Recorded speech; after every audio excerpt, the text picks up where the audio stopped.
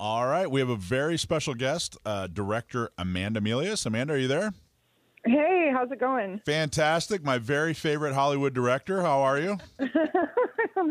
I think I'm more of a Washington D.C. director. No, that's now, true. Hollywood. I just, you know what I just realized. Hollywood. I just realized you're actually my second favorite Hollywood director. Right.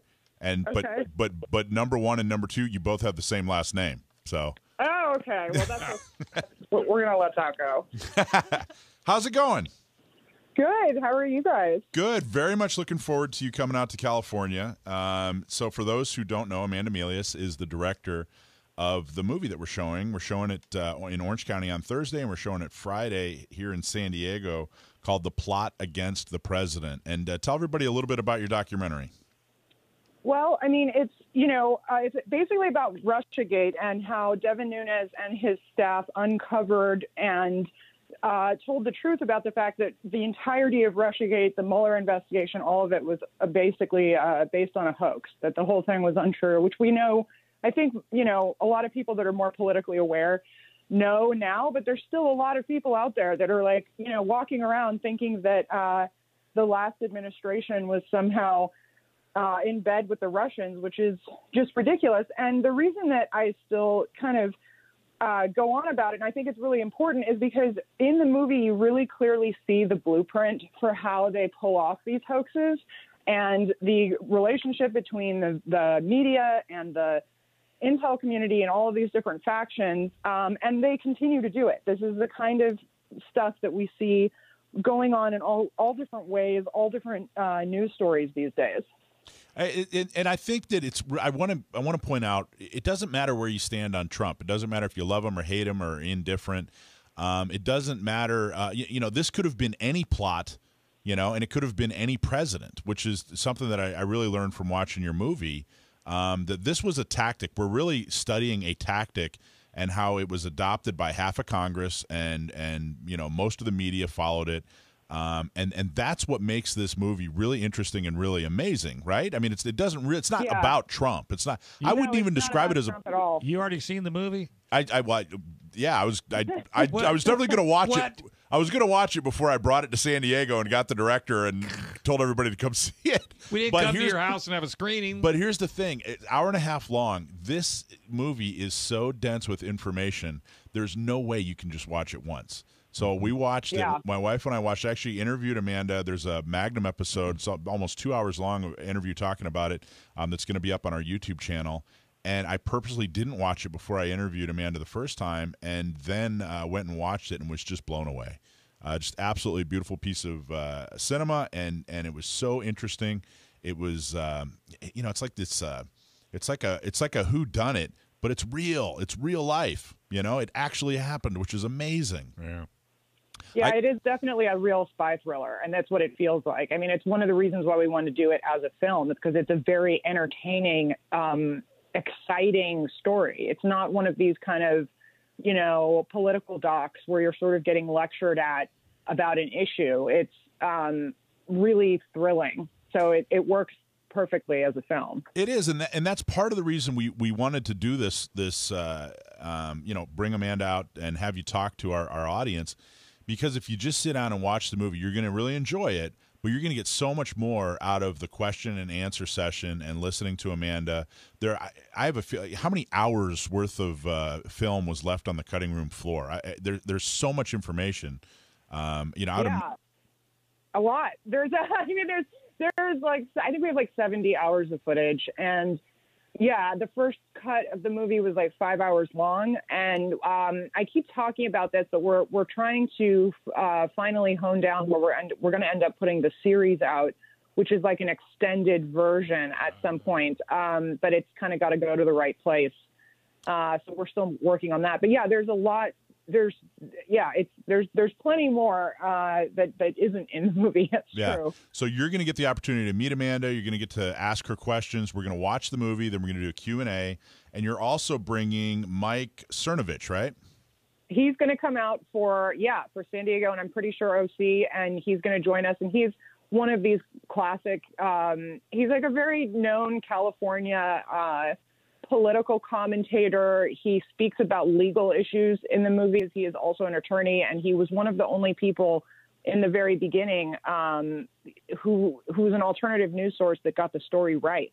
You know, he was right about RussiaGate. As much as people kind of get fired up about him these days, and um, you know, the mainstream media obviously does not like him.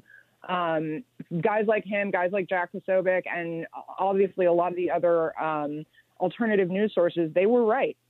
So what you know, I'm no fan of Russia. I certainly don't like Putin. Um, I'm just curious. What do you do? You know, like what were they doing? What was Russia doing during this whole thing? It seems like they were kind of sitting back and and laughing and just just letting us, uh, uh, you know, be completely and totally ridiculous. Do you, any any any feedback or any information you have on on how the, the Kremlin looked at, at that whole situation? Well, I think I think all of our um, foreign adversaries uh, you know, they're smart enough to know that when their enemy is making um, giant mistakes themselves, to like not interrupt them. So I think they were sitting back and having a laugh, um, and I think that th- that's really who benefited from this. And um, it's actually something John Solomon speaks about in the in the doc. Um, he he talks about how yeah, I mean, really the only people that benefited from this are um, are our, our uh, adversaries because obviously it, it just Putin couldn't have designed a better operation than the Russia hoax. Which is which is the great irony, you know, that that the uh, there were certain uh, people that were going after the president's. Uh, basically, they didn't like the president's political agenda. Um, which is like the president didn't like the president, which yeah. is which is fine. There are a lot of political agendas I don't like. There are I don't there are very few presidents I have liked you know but to go after uh, a, a political adversary especially somebody as important as the leader of the free world uh, in in this manner and, and, it was it was really watching the movie reminded me of just how ridiculous this thing was. I mean it was really just outlandishly horribly clownish and ridiculous. Um, so for them to go after the, the president in this manner you know, accusing the president of of being, you know, of damaging the democracy because he was siding with with Russia. The great irony is how much damage was done, uh, you know, by, by what they were doing, by this huge lie, you know, and how how Russia benefited from it. You know, that's the that's well, kind of that's one of the great ironies in this whole thing. But when you're super angry at somebody, reality doesn't come into play. D- don't you agree, Amanda? Yeah, I mean, and that's what they were, and they were they were threatened. Um, it's not even. I, I think the thing that they were more concerned with is that he was coming in with a new way of doing foreign policy and a new way of prioritizing American interests. Mm-hmm. And there's, you know, being somebody that came from California, I knew nothing about politics, DC, whatever. I moved here to to Washington, um, you know, in 20, 2017, the beginning of 2017, and um, it is really true. There's an entire industry that's built up around the way the government likes to do things, you know, and anybody that threatens that money flow is uh, this whole all these institutions are going to turn on them. Do do you think I've said this more than once, and I'm not an expert like you are, even Mike, but do you think he poked a bear? And didn't realize how big the bear was? Um, I think he had a pretty good idea of how big the bear was. Um, I think, you know, I think a lot of things um, were done. I think the administration accomplished things were really amazing in the oh, time yeah. that they had. Um, but at the same time, it's just you can't reverse 40 or 50 years of corruption in one administration, like one term, or even two. Um, right, exactly. Yeah. So it's it's you know, I think the yeah, and that's that's essentially what I think happened is like mm-hmm. that's that's the bear. You know, it's not it's not exactly something you're going to perfectly beat back. And as we can see, it's basically a generational war. Well, he did pull the curtain back on the Wizard of Oz. There's no doubt about it, because now the general public knows what they did. They may not. Yeah. Not everybody believes it, but the majority of the people, if they look at it, and I think if they watch this movie, which I haven't seen yet, um, but I think once they see this movie, then they'll have a better idea. Because all we're looking for is the truth, you know. And it sounds to me like what Mike is saying. You know, this is factually the truth. Yeah, no, absolutely. It's it's that's what's amazing about it is that there's nothing there's nothing in it that's even debatable. I mean, I've got you've got occasionally people will see the you know, I'll get review bombed by people who haven't even seen the movie, uh, which would usually happen after the president tweeted it out um, or something like that back when he had Twitter. Um, but, you know, and you'd get these people who'd be like, oh, this is propaganda or something. And you're like, you haven't even watched it. There's not one thing in it that isn't backed up by the transcripts um, from congressional hearings. Yeah, Um, there was there, there's a, there's a whole some of the people that are in it. Ric Grenell's in it. Who who else? Who, who are some of the people good. that appear in it? Uh, Devin Nunes, um, Don Jr., um, John Solomon, uh, the Judicial Watch guys, uh, Tom Fitton, Oh, wow. and um, yeah, I mean, really, it's it's like, and uh, several other congressmen. Uh, Matt Gaetz appears in it, and Jim Jordan, and uh, Mike Turner, Congressman Mike Turner. Um, and so it really is like a good swath of of the people who who really, you know, got this right. And I mean, remember when Nunes initially came out and took this position um, in the beginning, he wasn't even backed up by the other fellow Republicans um, in Congress. Yeah. Did Hold, get- hold on there. Hold on there. We're gonna coming back? Yeah, we're gonna hold on to the next segment. But yeah, to, for tickets, gunownersradio.com. Go to gunownersradio.com. You can buy tickets. There's still a lot left. So uh, uh, join us at the movie. We're gonna uh, hold Amanda over. We're gonna talk about uh, uh, a whole lot more that she's doing. Because I want to know if she's got John Kennedy on, because that guy needs to be in this movie. From Louisiana, oh is he not the best? yeah, I don't I don't know. You don't know who I don't he know if he's in there. I don't know. Oh, we'll have we'll talk ask her her. when we come back. Blackhound Optics. Boy, they're accurate, affordable, and guaranteed. Sporting optics that go the distance. Backed by customer service that goes that extra mile. Great guys, great product, and a great company that is making optics affordable. On top of quality optics, they pay close attention to the customer experience. And did you know their scopes come with mounts? So you don't have to worry about finding one that fits. We are so excited to have them as an official partner of the show. Ask for them at your local gun store or find them online at blackhoundoptics.com. So we're talking with director Amanda Milius. She directed the movie The Plot Against the President, which is all about the, the ridiculous RussiaGate scandal. So talk a little bit about you, the movie was actually ready to go at the beginning of, of October, right? Yeah, that's actually it came out um, October 9th, uh, and we had a couple of interesting run-ins. I mean, the the main place a lot of people see it, it's available on Amazon uh, and Amazon Prime. And initially, when we gave it to them uh, to release it, all of the other platforms released it, but they held it back for like two weeks. Doing this, what they called an extended content review, which my distributor, who's got hundreds of titles on Amazon had never heard of before. So I'm not, we're not, you know, we're very happy and pleased that it's on there. And uh, we're not saying it was like censored or anything, but um, it definitely was a very uh, interesting process. It wasn't, there was not a lot of communication. Well, I mean, reading between the lines, though, it, it sounds like that you know it was it was on, it was ready to go at the beginning of October, just in time for the election season, and it sounds like uh, that they stood in the way and they purposely delayed it, and and and the the, idea probably being um, that this was this was uh, this was an anti-Trump move. Is that is that is that your thinking on that? Um, that they thought they were doing an anti-Trump move. Yeah, that they Uh, were purposely yeah. delaying it. Yeah. Yeah, I would I would think so. I mean, especially considering the relationship that a lot of these organizations have with the um, mainstream news media, who are proven to be totally wrong and have never have never come back from it. Like I've never seen an apology by anybody at CNN or MSNBC.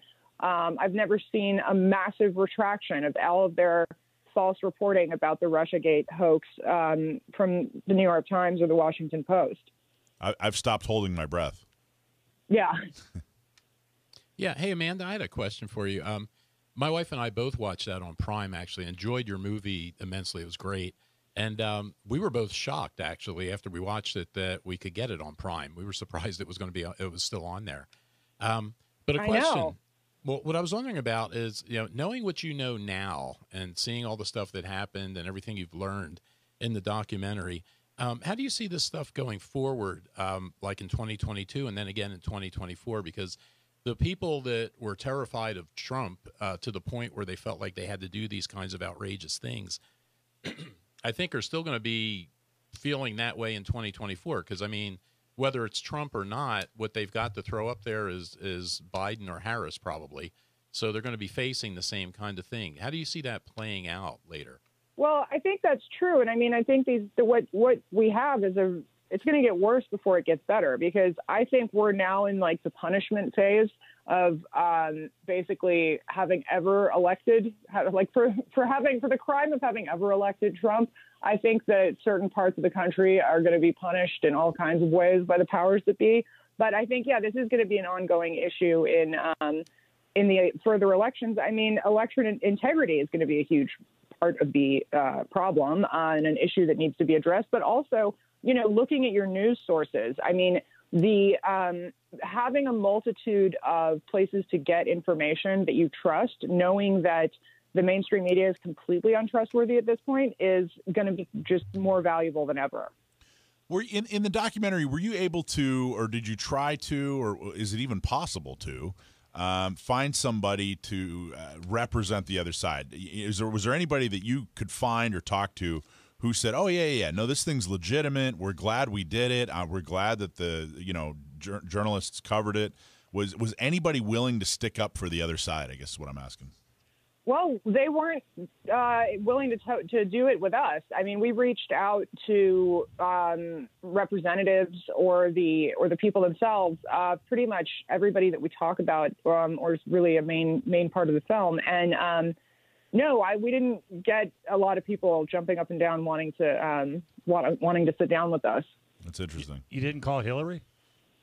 I think Hillary was one of the only ones that was not on the list. I think we didn't even. I think that was one of the ones that like actually just. Well, yeah. she wasn't going to tell you the truth anyway. Probably not.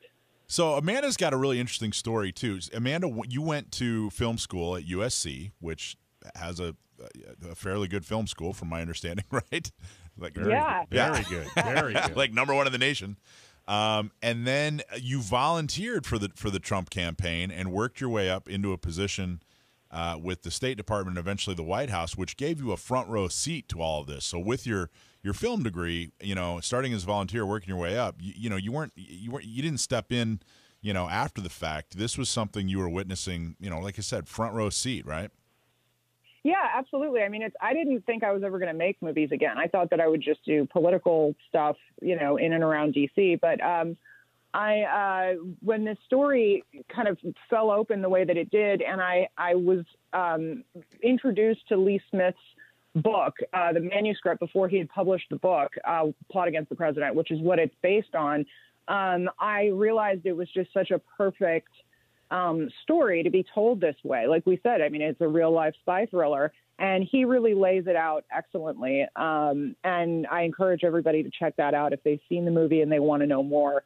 Um, to check out the book, but um, but yeah, so it, it just I happened to have the right skill set in the right place. It was a very rare, strange opportunity, and I had a lot of people encouraging me to do it. I wasn't really sure that it was the right move. Um, it was a little sketch, just uh, resigning from my government job um, right when COVID began. I think it was like I think I resigned like the end of March, and we made the movie in like less than you know four months or five, really less than six months. I mean, it was just a shocking, insanely fast time uh, time crunch, but. Uh, you know, I don't recommend doing it that way. Uh, but it was it was really great. Yeah, and I think it was um, the right thing to do. Definitely.